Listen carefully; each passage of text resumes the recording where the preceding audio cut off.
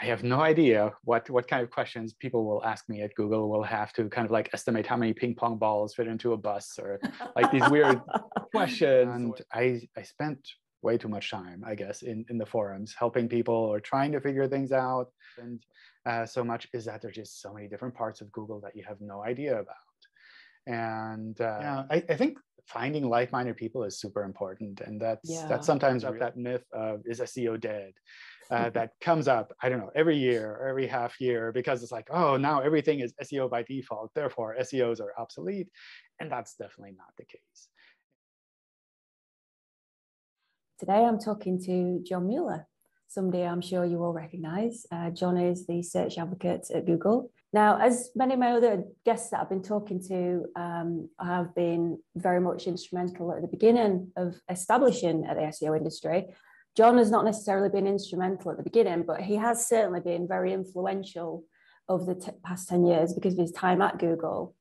Um, but what I really want to talk about, John, is you know everybody has a story. So today I'm going to be having a really great conversation that I'm very much looking forward to about how John came to where he is now and his background. So I'm going to start off by saying, John, what were you doing in the very early days? Cool. It's it's great to be here. Uh, th- thanks for setting this up. Uh, so so happy to to kind of join in. And I I find these kind of background stories always really kind of fascinating. For for my part, I it, it wasn't really that I studied computer science or was, was some kind of a secret hacker, but I, I don't know. I depending on how you define hacker, maybe. Uh, as, as a kid, I spent a lot of time on computers. I kind of taught myself how to program. Uh, in in the early days, it it was quite different than it is now in the sense that you couldn't just go look something up or you couldn't just go ask someone i don't know on social media like how do you do this thing um, because basically you weren't connected to anyone else. So you had to learn by trying things out, by copying what, what other people are doing, by by books or magazines, where sometimes you would just like copy or essentially like retype the code of some program and hope that you didn't have a typo in there because you didn't really understand what it was doing. And hopefully it would kind of work, which I don't know is is kind of surprising that people manage to go through that and still stick around, not be frustrated by everything. But it worked. Um, I, at some point, I found uh, the the whole dial-up bulletin board uh, things, and that mm, that I think was interesting because suddenly you could talk with other people online. You weren't just alone with this magazine where you're trying to kind of like retype the code of some I don't know, game. Um, I, as, as a kid, I, I'm originally from Germany, but I spent, I think like almost 10 years in the US as a kid, kind of growing up. And then towards the end, uh, or I guess like middle high school, uh, we, we moved to Switzerland as a family. So I came to Switzerland to, to finish high school and I ended up studying uh, mechanical engineering with a focus on robotics and business administration here in, in Switzerland. And robotics, I guess, is like almost the closest to search engines in the sense that there were physical crawlers that you were working with. Uh, but uh, it, it, was it was kind of weird, I, I guess, at the time, but uh, it was fun. It's quite um, it's quite an interesting combination, robotics and business administration. You wouldn't necessarily think about putting the two of those together? It seems. I I don't know. Like we we had to do, pick something, and uh, it it was around that time where I was already working on on my own software company, and oh. Uh, because right. of that, kind of like well, on the one hand, business administration felt a little bit more. I don't know, uh, practical in the sense that I could use some of that thing, some of that information. And also, it felt like it would probably be easy because I had seen some of those things already, which which I think both both of those aspects were were kind of helpful there, in that like you study something, but it's like you don't really have to work really hard on it because it's not completely foreign to you. although I think there's two people have come to uh, search to SEO. We've either come from the computer science and the hacking background, or more of a creative marketing, which I myself I came from more the creative marketing. I mean, it takes both sides, I, especially for SEO, where I think there's there's a lot of technical stuff uh, that's around there, but it's also kind of almost the, the creative side is is becoming more and more important, and you yeah. can't really just do one or the other. Mm. Uh, so it's it's something where I I don't like I, I, guess in the early days, I almost felt like, oh, I need to encourage all SEOs to learn how to program. But you don't need to do that. Like it's there, are lots of people that love doing programming that already do it. But like not everyone has to do it. So yeah, I think for me it's the perfect balance of geek and creative. I, I am a massive geek at heart, but I'm also very creative. Well, and it's just you know data. I love data and being able to combine that together, but also the constant learning. It's constantly evolving. I find that so exciting. That you know that mental intellectual stimulation. Although some days I feel like I'm absolutely exhausted. Um, yeah. So what? So you were saying that your first experiences on the internet, you um, were on dial-up, etc. I I think Can they were just like random local things where at, at, least from from what I remember, like it's such a long time ago, uh, it's it's more that there there were these almost like local local boards that you could access for basically I don't know like a fixed fee or something like with a phone or something mm-hmm. like that, where it's not not a long distance phone call where you had to pay a lot of money, so it's like you you didn't I don't know, pay too much to actually get access. And just like lo- local people who have similar interests. And I, I think that was that was pretty useful, kind of going from just being this weird outsider in in your like real local environment to to actually seeing well actually there are other people that have yeah. similar interests. Like-minded people. Oh it's, it's so great when you find like-minded people isn't it? And then you don't feel so strange anymore. Yeah. Yeah. How did you progress into starting to experiment with search engine marketing? I know we sort of all of our stories are quite similar in terms of for a lot of us you know we were building sites and it was just learning how we what we could do with those. Was that the same for you? Since since i i had a small software company here in, in switzerland and we we were doing billing software so something kind of like really boring essentially but it's it's needed i guess. Uh, and uh, at some point the the everything around the web just got a little bit more visible so we we also started making websites for clients and making our own websites and uh, from there it, it kind of spiraled, I guess, out of control almost in the sense that you you try things out and some of them work, some of them don't work.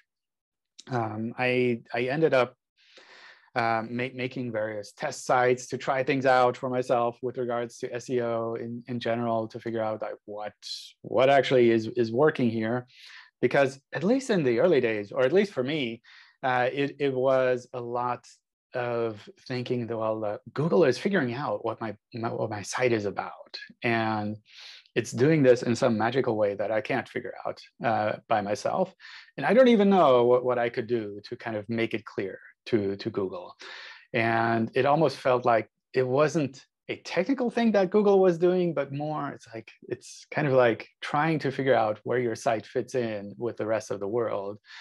And uh, kind of progressing from there to understanding well actually there's a lot of technical stuff that just happens behind the scenes and it's not that much magic. It's a lot more actual like practical step by step things and uh, that I, I, think was was pretty insightful and uh, from there I, I think like going to the forums and helping other people try to figure things out and asking questions myself and seeing that so many other people are struggling with regards to SEO questions as well. Uh, that that kind of I don't know pulled me in in in that uh, like there's there's so many things that you could do around SEO and actually some people are seeing some really good results based on something kind of purposeful that they're doing. It's not so much that Google is accidentally recognizing your site. It's more that you're like someone is doing something purposeful and Google is recognizing that too and showing that. So I thought that was pretty cool.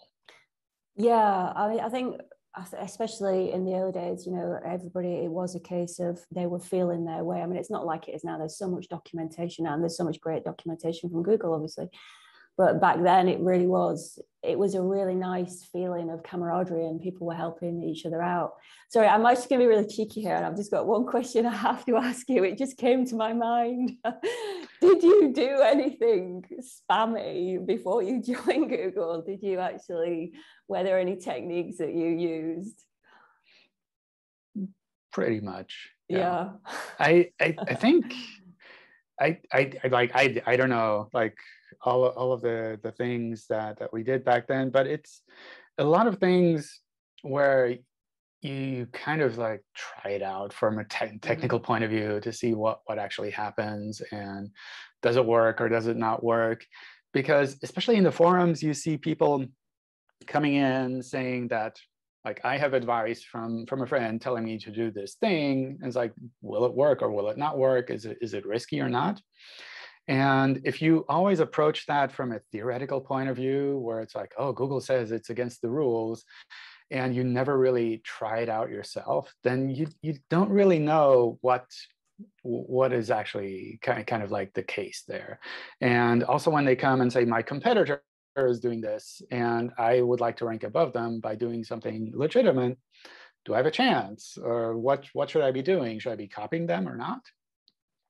Um, a little bit of understanding of what kind of like the the problematic behavior actually affects in the search engines i, I think that's that's useful to have uh, but it, at the same time it's also something where if if you're trying things out for yourself and you're just playing around with i don't know setting up an affiliate site or kind of trying to learn how these things are that's perfectly fine. Like at least from my point of view like try, try some crazy stuff.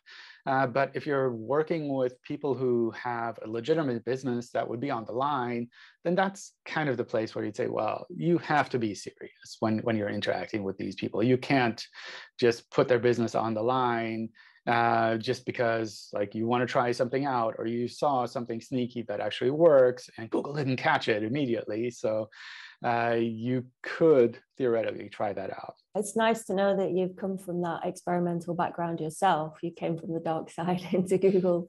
Um, I think that's probably, I would assume that that's obviously helped you a great deal um, when you went to Google because you've seen it. You, you know, you've worked there in the trenches. You've been on that practical side of it. But just going backwards, I just sorry, just wanted to go back just to could talk a little bit more about the forums. Um, so, and a Cre8asite was obviously a very, very instrumental site in its day, where uh, it brought a lot of SEOs together. Um, what what years were you active in there? Oh my gosh, I don't know. Um, you, do you think it was before? So it would have been, well, it started early 2000s, didn't it? And you joined Google at 2007. So it's obviously between I suppose between those times, right?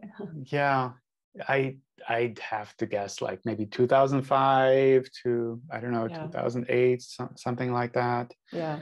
Um, yeah, I, I I thought it was a, a really good forum, and it's like one of the things that I really appreciated there is that it was just such a friendly atmosphere in terms of the the people that were active there because oftentimes at least at, at the time the the way that I remember it, there, there was also a lot of uh, arrogance around SEO in that you ask a kind of a beginner question, and then if you're in the wrong forum, it's like uh, people are really like, oh, you should know this. Like you put SEO on your website, why are you asking me this basic question? and it felt like at Cre8asite uh, it, it, was a lot more open and, and, people were actively kind of like helping each other out uh, some some of the people that, that are still active now in the SEO industry were were active there as well, and uh, yeah, it it felt I don't know it felt really friendly. It was also weirdly one of those places where I asked for advice on what to do in an interview at Google uh, where I was like, I have no idea what what kind of questions people will ask me at Google. Will have to kind of like estimate how many ping pong balls fit into a bus, or like these weird questions where you you kind of read about them online, but uh, you don't really know is, is this like actually a thing.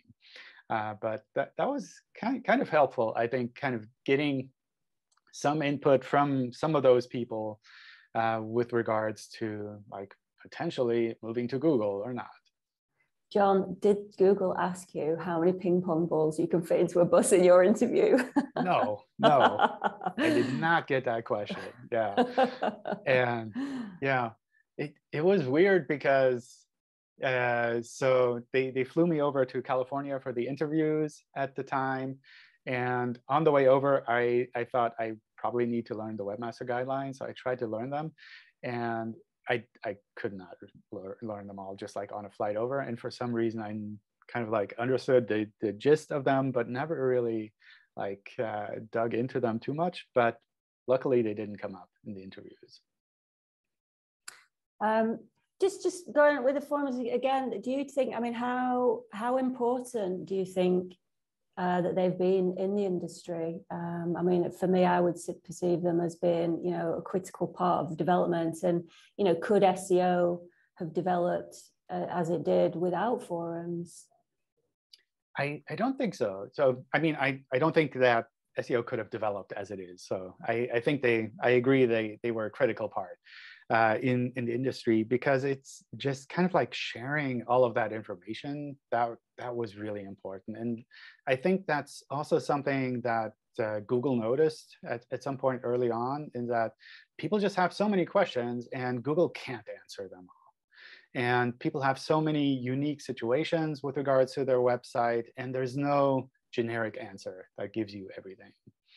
And uh, the forums are a great way for kind of the people who have these kind of questions, especially those who aren't uh, kind of already that savvy with regards to SEO to ask these questions and other people kind of helping out.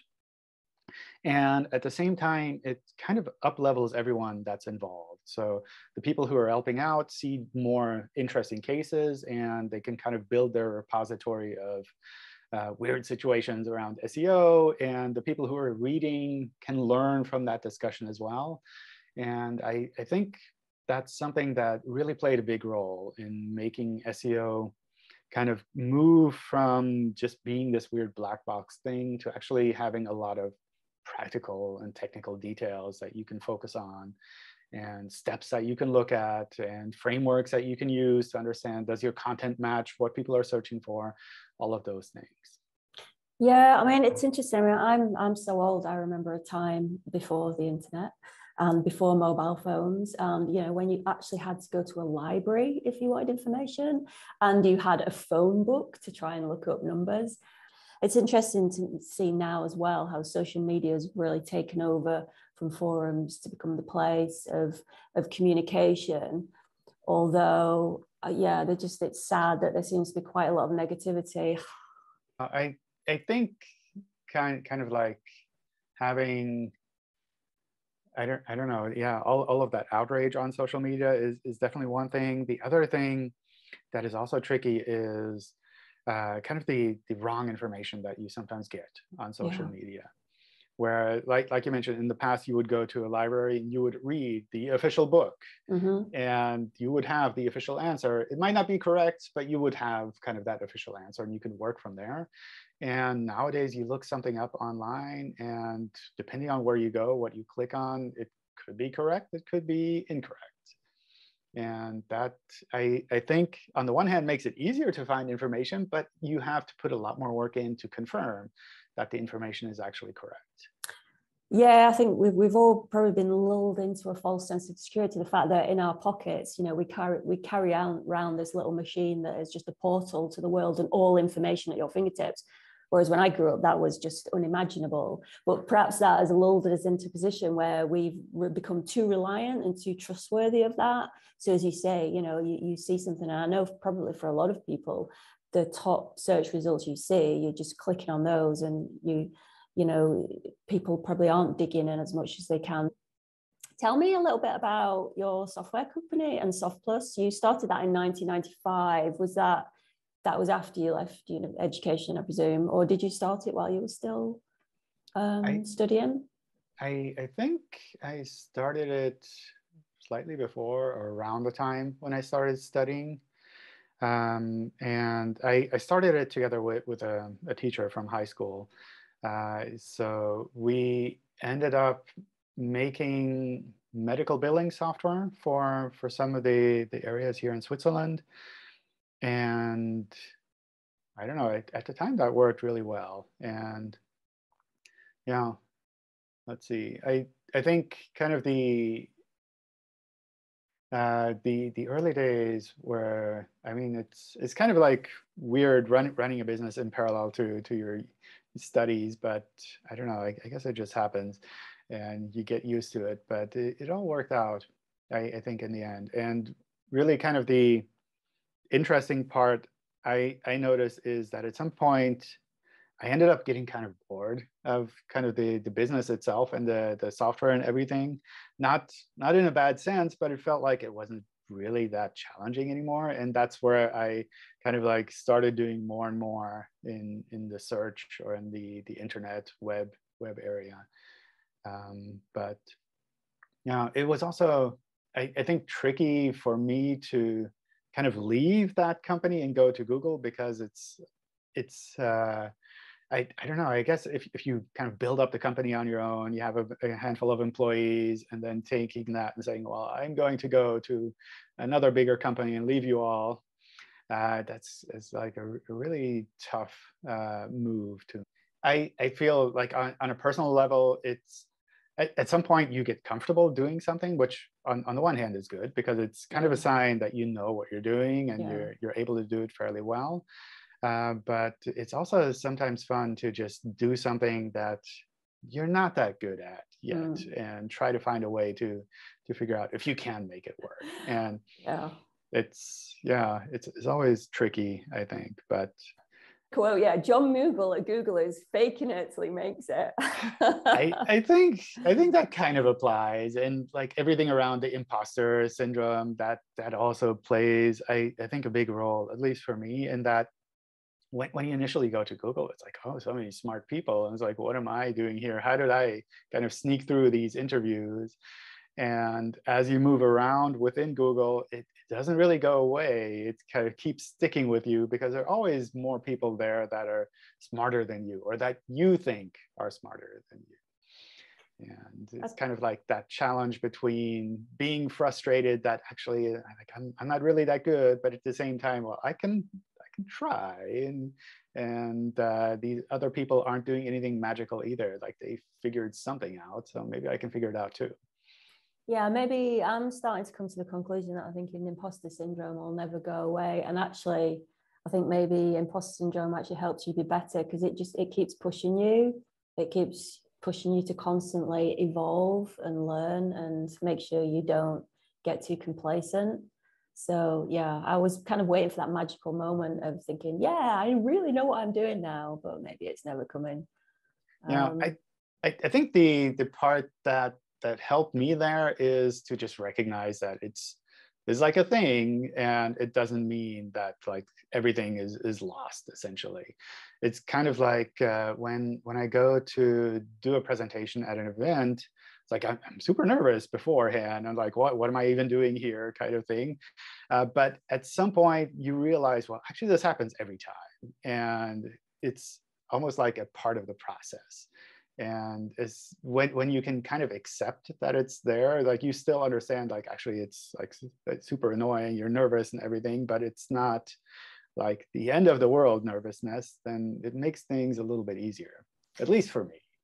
So how did you what actually led you uh, to work for google because as you say you you know you had your software company you were you know happy with your business um, how did you yeah. go i i I think it was mostly because I started in the forums, doing more in the forums. And in particular, Google started their, I think the sitemaps or the webmaster forum around that time. And I, I spent way too much time, I guess, in, in the forums, helping people or trying to figure things out, or at least trying to help people. And uh, also, since sitemaps had just come out around that time, I made, I think, the, the first Windows-based sitemaps generator, which would crawl your website and then generate a sitemap file for you.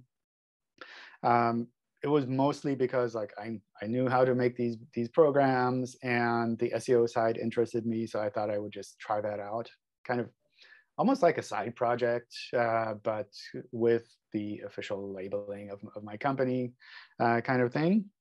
And uh, I think that combination somehow got Google's attention. And at some point, I got an email from one of their recruiters asking, like, hey, do you want to come and visit us in Zurich?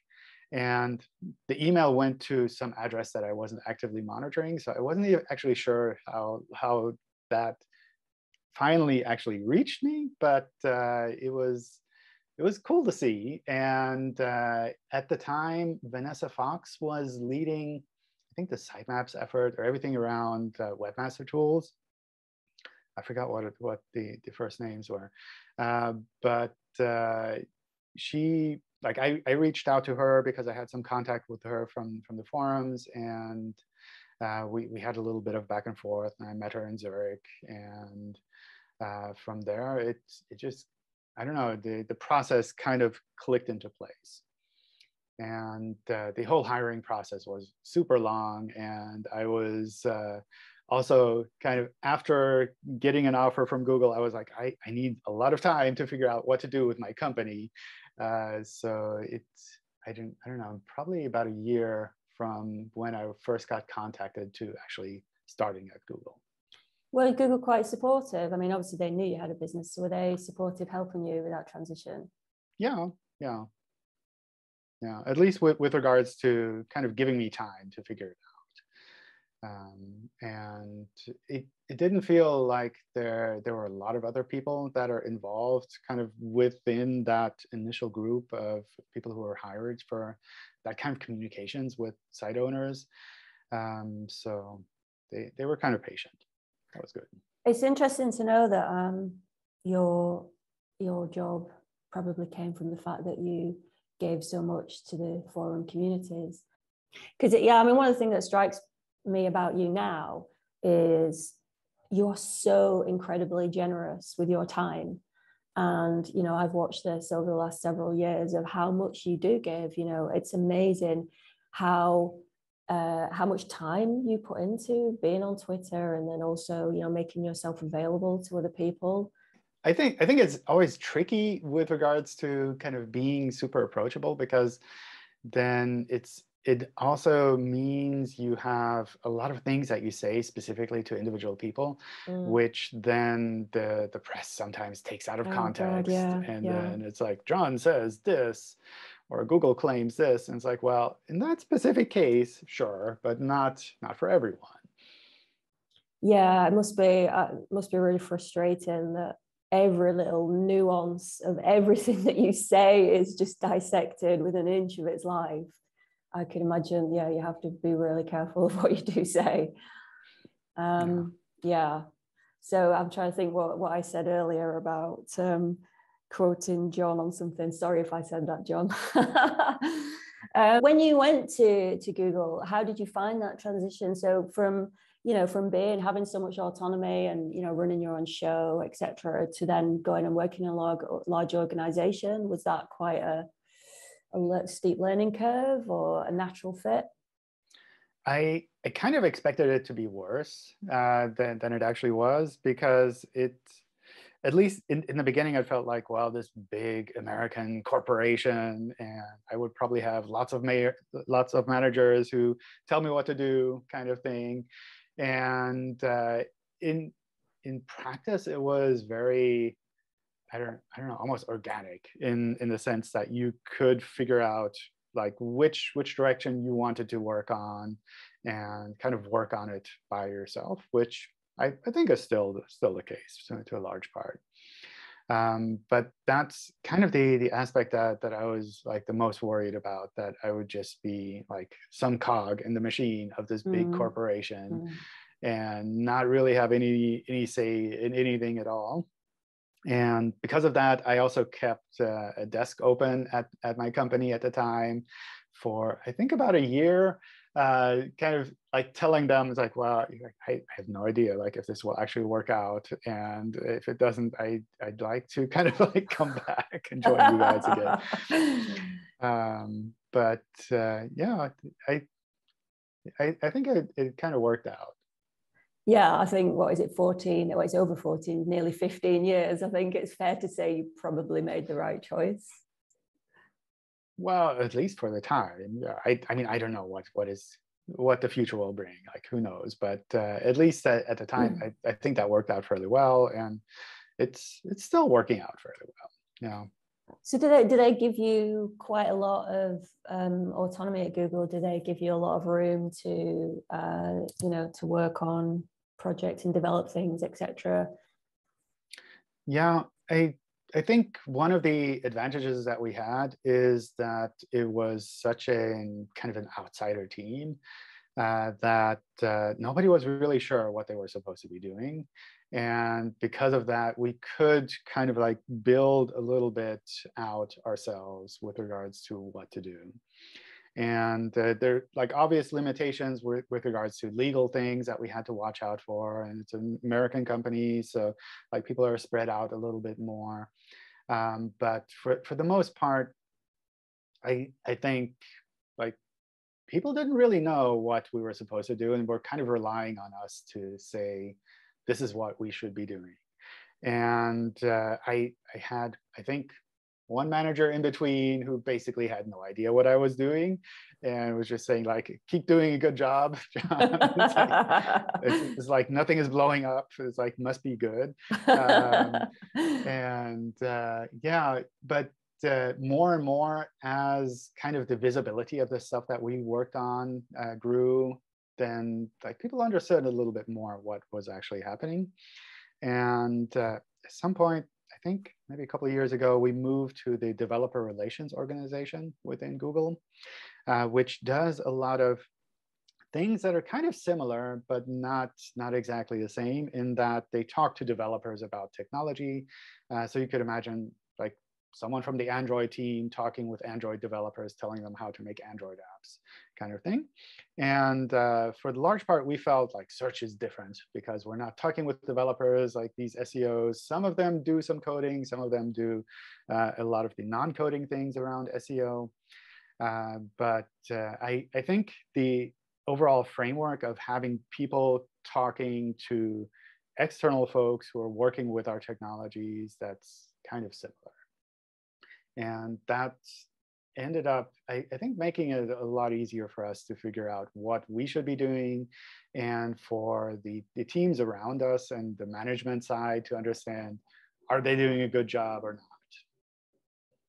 Um, I would imagine, so when you started there in 2007, it was probably quite a small company because you, obviously you're in Zurich.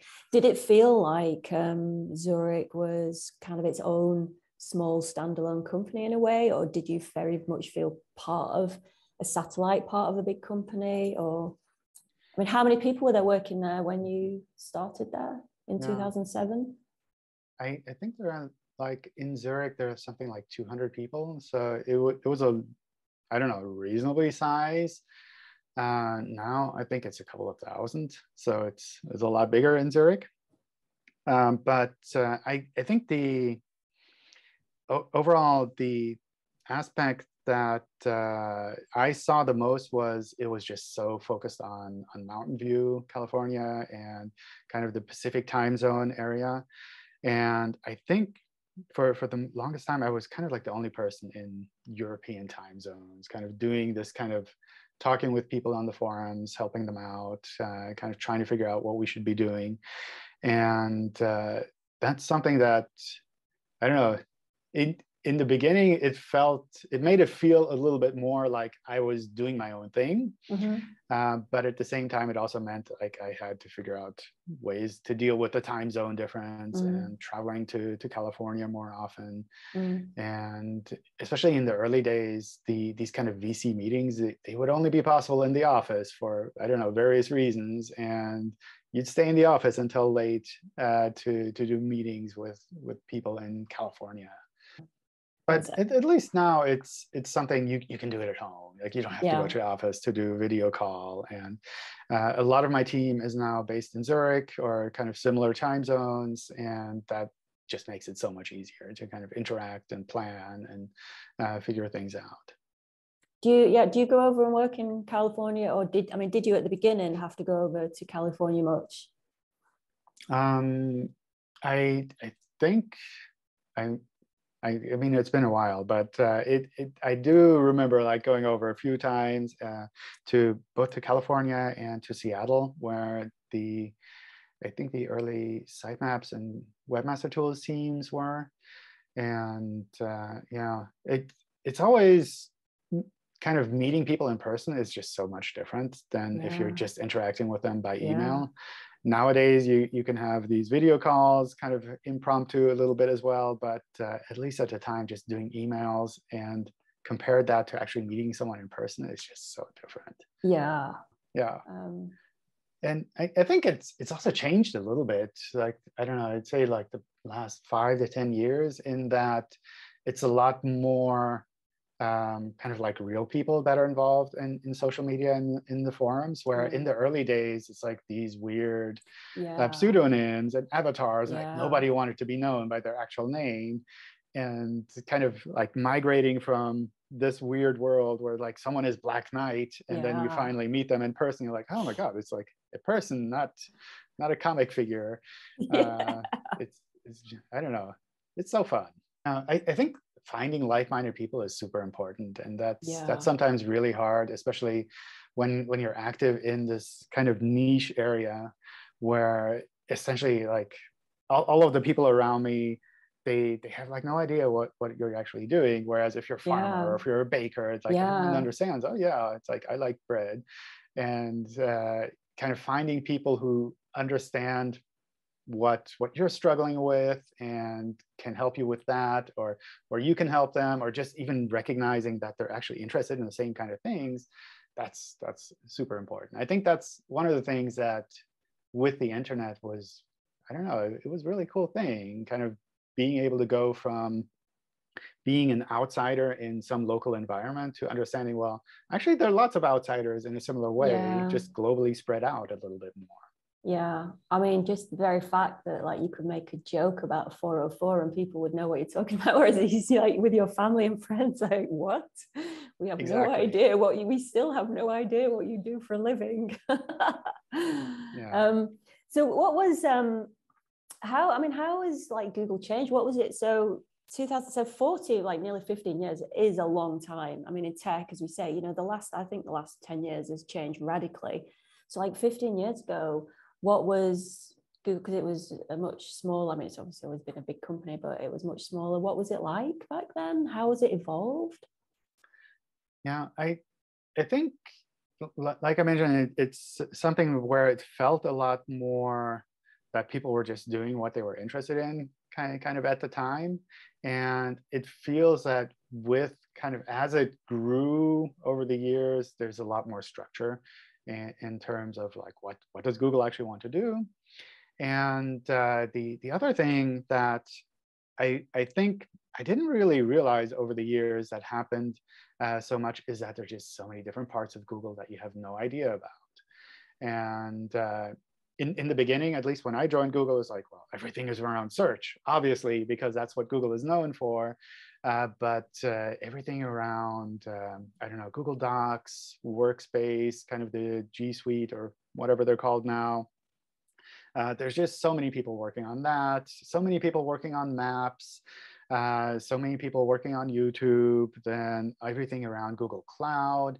And you, you don't really recognize that these areas are growing so much uh, because you're just like focusing on your small thing, you recognize like the people working on search are like familiar names that kind of keep bubbling up now and then.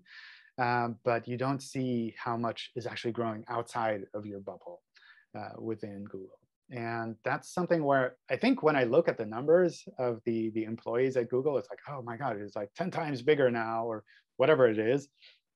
Um, it doesn't feel like it's that much bigger because you have your small bubble right, and it yeah, kind of yeah. remains the same Yeah. and like these other bubbles like if maps is doing something super crazy and suddenly have lots of people like you, you don't realize that's happening you you sometimes see some of those connections when you see the the things that they're working on but uh, it doesn't come across as the company is growing bigger because your bubble is kind of similar in size see when you first joined, did you say you were in sitemaps team? Um, I, so I I was initially I think hired as a webmaster trends analyst, which again like nobody really knew what to do. Uh, but the sitemaps team was in Zurich, and I basically spent most of my time together with them uh, to to kind of like see on on the one hand what what they were working on with regards to sitemaps and also to bring kind of feedback from the ecosystem back to them so like this is confusing or this doesn't work with indexing or crawling and we, we need to find some answers or ways to frame the, these kind of things you- So now you're in the Google Search Console team, is that right? um, no the, the search console team is separate um, Right. I'm I'm technically a part of the the search quality team now. Oh, Uh, but a lot of these changes, I, I think, are more organizational and not necessarily things that change what we as, as a team kind of work on directly. Uh, so before the search quality team, we were part of the Chrome organization uh, because kind of like talking with people who make websites is something that people on, on the Chrome side do. Uh, and it's more that like organizationally that made sense at the time and now this makes sense and kind of these reorganizations they happen from time to time. But for for the most part at least for our team uh, the the work that we do is is very similar. It's it's just we we kind of have a different structure above us. And that's something i think that comes with bigger companies especially if you're a little bit of an outsider team um, but uh, I, I try not to let that worry me too much because who knows what the bosses and bosses and bosses above us will actually end up deciding. And as long as you can keep doing the same things or similar things, like whatever. What do you what do you see as the the one most important um, change or implementation that, that's or implementation that's really changed search? I, I think kind of like when when you sent me this question, I, I thought about it a little bit. And I think the, the thing that stood out to, to me the most was really kind of the, the subtle migration of everything around websites going from being this weird, quirky kind of technical thing where you had to structure your HTML yourself and make a server to becoming something more of an organized platform and in particular one that included SEO by default. So uh, essentially kind of going from a situation where you as, as an SEO or as a site owner had to check individual HTML pages to see if they work and uh, to see if they load, if the links work, if, if there's anything broken there with regards to crawling or indexability, to essentially being able to take any mainstream platform that makes websites and just using that. And then kind of SEO just kind of falling into place by default. And I think part of that is due to, well, obviously the web becoming more and more popular and it's like random people wanting to put things on the web, uh, which I think is good for the web.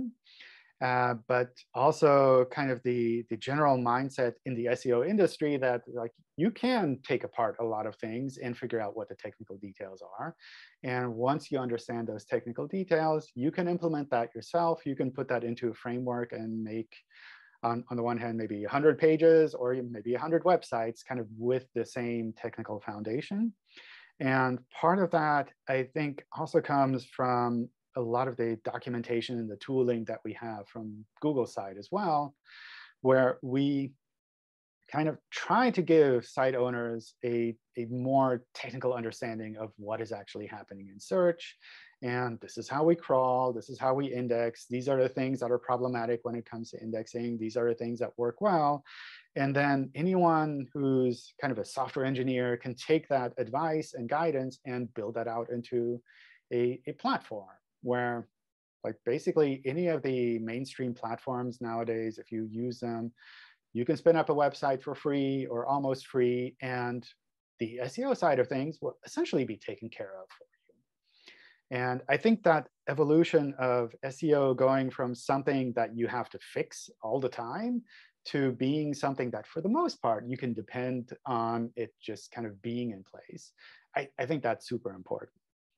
Um, it's also something that kind of spins up that myth of is SEO dead?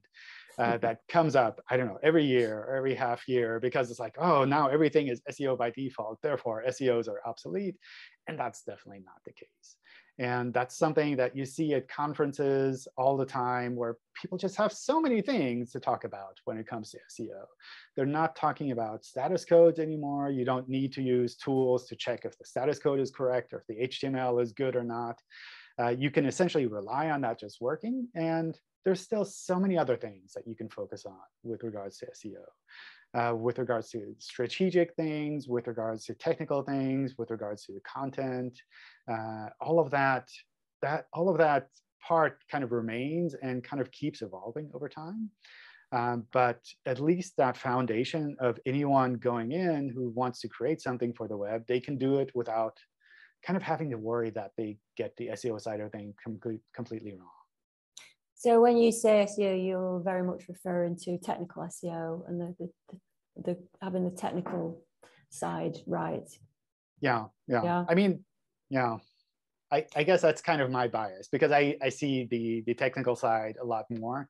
Yeah. And usually when it comes to, to issues that we get uh, that people come to us or internally that they, they recognize on the web, they're, they're due to technical issues and kind of that technical aspect. Mm. Um, but obviously, the the content side of things, I think that's going to become more and more important because mm. as the kind of foundation of a website is there, the differentiation will be a lot more on the strategy of how you're targeting your website and the content that you're creating, kind of the marketing around all of that, mm. And uh, that'll become a lot more more important. And I see that sometimes also in, in the forums and in discussions on Twitter uh, where you see essentially absolute beginners who are like, well, I can make money online. I found this video how to do it. And they create a whole website and they basically do everything reasonably okay from a technical point of view, but the, the challenges that they're facing are really from the quality of the content. Mm. And uh, that I, I think is a good sign because it means like the, the quality of the content is really that part that's moving the web forward now. And hopefully that means the quality of the content will improve over time. Yeah, it's, uh, I mean, it's an amazing industry. I, I, I'm sure you must love it as much as I do, because I know you're so heavily involved in it. And I don't think you can give that much time to something unless you're really passionate about it, right? Um, yeah. No, it's it's it's super fun, and I think what what is also really good is that the the people involved are just so so good for the large mm. part mm. and i i think what keeps me excited is kind of constantly seeing new faces in the industry as well mm -hmm. um, like obviously seeing the the old faces kind of like hold up and keep doing new things that's also exciting mm. but just just seeing a new generation of people every couple of years when you uh, look at a conference lineup and you're like I, I don't know any of these yeah, people. Yeah. and you look at the topics and like these are good topics. Or sometimes you look at the topics and you say well these are the same topics we had 10 years ago. But it's, it's like a new point of view that that kind of comes into play there.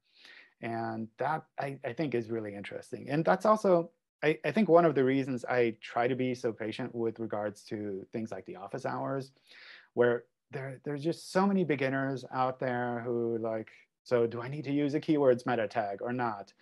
And uh, kind of seeing these kind of, I don't know, almost like basic questions over and over just shows that there's just like constantly new people coming in and it's really not that SEO is a stagnant area where it's like nobody's doing anything new anymore. It's like they're constantly new people joining it. And yeah, that just, I don't know, tells me a little bit that it's still kind of relevant. Whereas if I were selling fax machines or something like that, then like there's nobody new who's buying fax machines, like just all these old people. Uh, that would be kind of like, well, I don't know if I'm still doing something useful here or not. Uh, but with SEO, it, it, still feels like there, there's just so many new people keep jumping in, and they they bring their own experiences, their own backgrounds. Uh, they come with a mindset that they've had a mobile phone since the beginning, and that's just so different from what mm, I don't mm-hmm. know we yeah.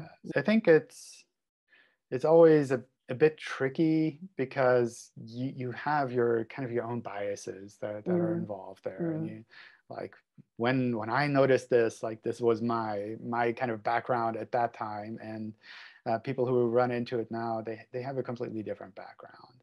But uh, that's yeah. I don't know. It for, from my point of view it just makes sense to keep answering these kinds of questions because people like need need some answers and they need something where they can kind of trust that it's okay. And like obviously you shouldn't just blindly trust anything that google says but it's something where if you understand a little bit where it's coming from or if someone explains it to you in a way that you can kind of uh, follow up with then i think that helps a little bit too actually what um what questions do you see the most coming up do you th- is there any trend of that you see more than others? Um, How many I, links do I need?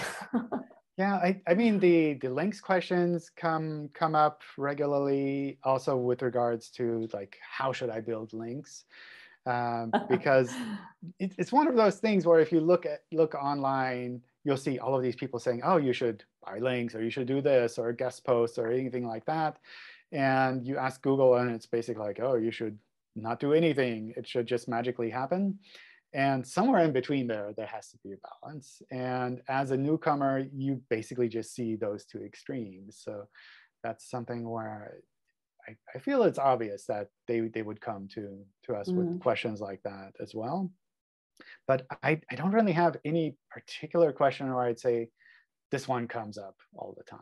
Sometimes there are themes that come up more often. Sometimes less often. Internationalization is kind of like one of those tricky topics that comes up from variety of, of different levels of folks or pagination or uh, e-commerce sites, how you should kind of split up products or kind of like combine products into a single page, which a lot of that is a lot more about almost like a strategic approach of like how should you make a website? Should you focus on something and make it really good or should you create kind of this broad set of content? Mm. and like you can do it either way and like you can make either of those approaches work but you kind of have to do it in, a purposeful way mm. not just kind of like stumble into it i think. Yeah.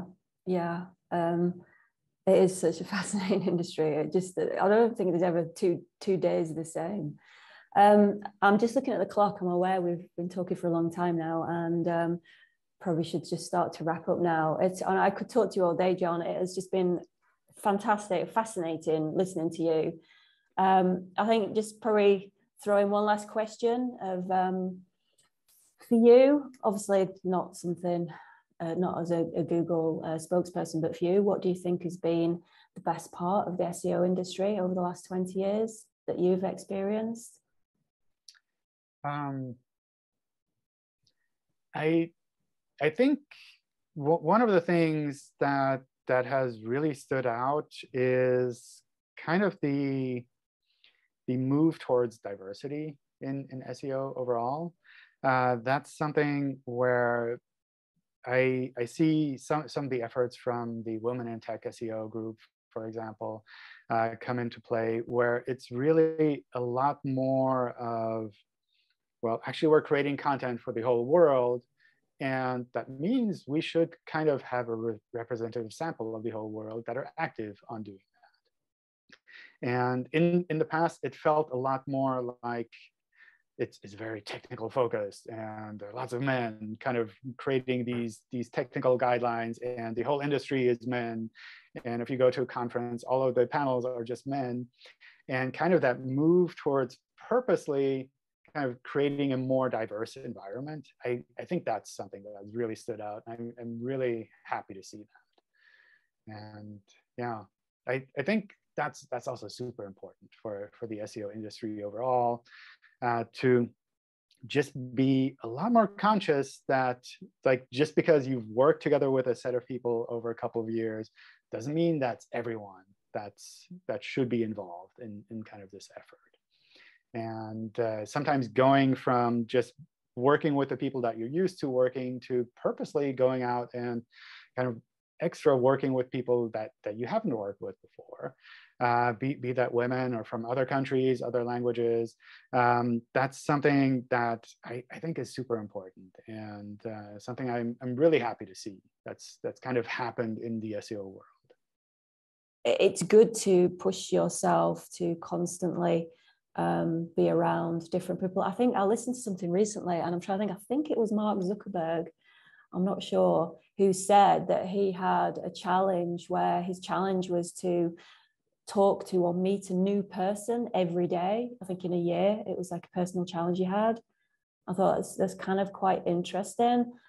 Yeah, I, I think it's also something that that kind of came up over the years within Google as well, kind of the uh, whole also unconscious bias trainings that, that we do, where we we kind of recognize that we have these weird biases that we don't actually kind of recognize mm-hmm, otherwise. Mm-hmm. And mm-hmm. then once you can recognize that they're in place, you can kind of go out and say, well, I want to kind of break that out and make sure that I don't have those biases mm-hmm. or not as much. And I think that's that's like super challenging sometimes because you you can go for years and kind of like stay within your own bubble yeah uh, and it's it's comfortable because you know those people they're they kind of like you mm. um, but kind of going from there to making sure that anyone can do similar things i, I think that's super important and mm. it's it's really hard sometimes yeah um, I mean, I, I, could obviously carry on talking for, for another several hours. So I'm, I'm going to wind down and wrap up that, John, because I could quite easily just go on and on. But it's been an absolute pleasure to talk to you. And uh, thank you so much for telling your story. And um, yeah, thank you for your generosity in the industry. Good to speak to you.